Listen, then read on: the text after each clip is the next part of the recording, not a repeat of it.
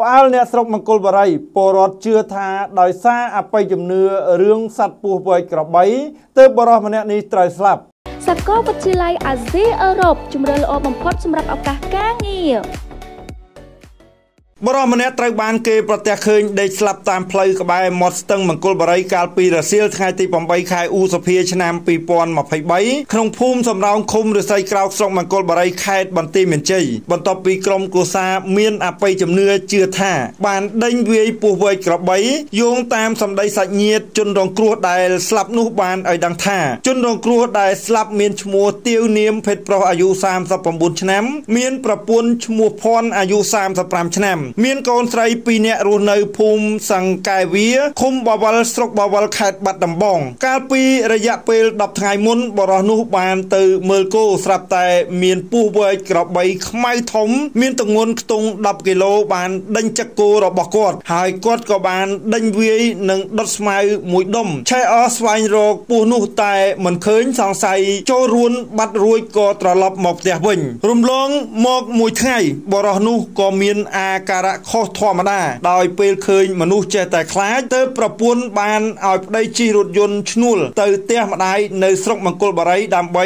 រំដោះគ្រោះតែពេលជិះរថយន្តពីស្រុកបាវលខេត្តបាត់ដំបងមកដល់រង្វល់មូលយាយជីច្រុតស្រូវស្រុកមង្គលបុរីជនរងគ្រោះក៏បានចុះជិះម៉ូតូឌុបបន្ត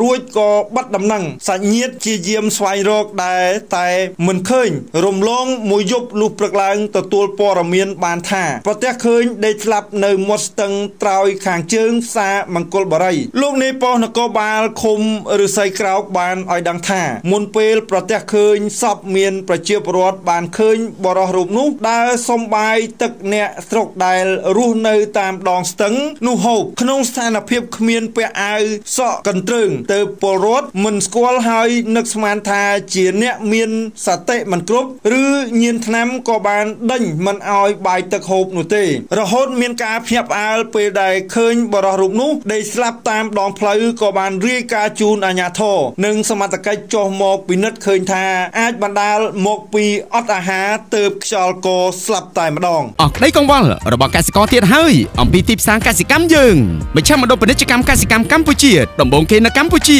សូមជម្រាបជូនដំណឹងដល់ប្រជាកសិករតាមបណ្ដាសហគមន៍កសិកម្មទាំងអស់មេត្តាជ្រាបថាមជ្ឈមណ្ឌលយើងខ្ញុំសូមប្រកាសទទួលទិញបន្លែផ្លែឈើនិងត្រីសាច់ពីកសិករក្នុងមួយថ្ងៃចំនួន500តោនសម្រាប់គ្រប់គងទីផ្សារក្នុងស្រុងនិងនាំចេញទៅទីផ្សារអន្តរជាតិជាងនេះទៅទៀតមជ្ឈមណ្ឌលមានតូបជួលសម្រាប់លក់កសិផលបោះដុំនិងមានចំណតធំទូលាយសម្រាប់អតិថិជនមកពីបណ្ដាខេត្តអាស័យដ្ឋានមជ្ឈមណ្ឌលផ្លូវវែងស្រេងភូមិត្រពាំងថ្លឹងសង្កាត់ចំចៅ1ខណ្ឌពោធិ៍សែនជ័យរាជធានីភ្នំពេញទូរស័ព្ទទំនាក់ទំនង070 8012